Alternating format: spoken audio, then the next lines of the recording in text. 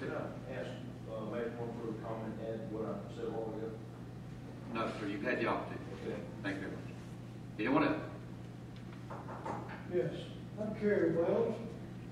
Let's come forward and speak to the mic. I'm Kerry Wells, I live live at forty-six eighty-one Boyd Pond Road. I have some conflicting, uh, statistics here that when, I went to the assessors yesterday, and, uh, I've got a difference of four hundred and fifty-four dollars, sixty-six cents more than I to fourteen.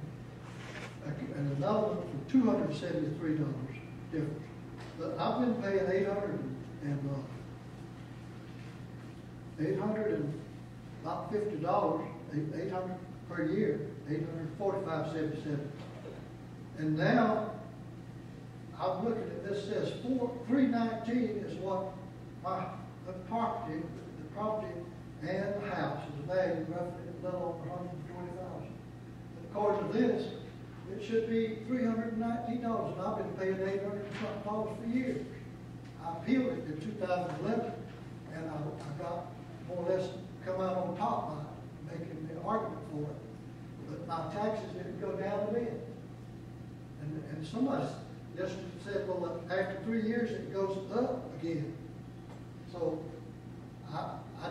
say one more thing. I know this is just a formality. I don't think uh, anything I say or what y'all listen to will change it. But uh, that's, just not the speed of time. Okay. Thank Thanks so much. You know what else?